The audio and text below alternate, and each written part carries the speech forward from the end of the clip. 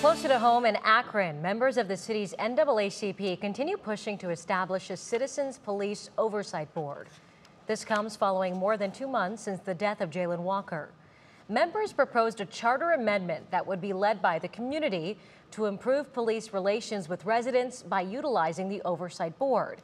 Now, one major topic today was the importance of a police auditor, something the group says the city has but can't utilize fully for several reasons. Rowe has no access to records, and all complaints he receives must be turned over to the police department for investigation.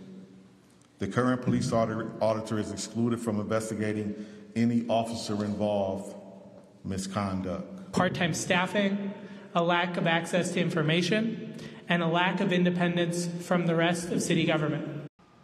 Mayor Dan Horrigan announced last week what would be included in that Citizen Oversight Board, but no word on if or when that will be established.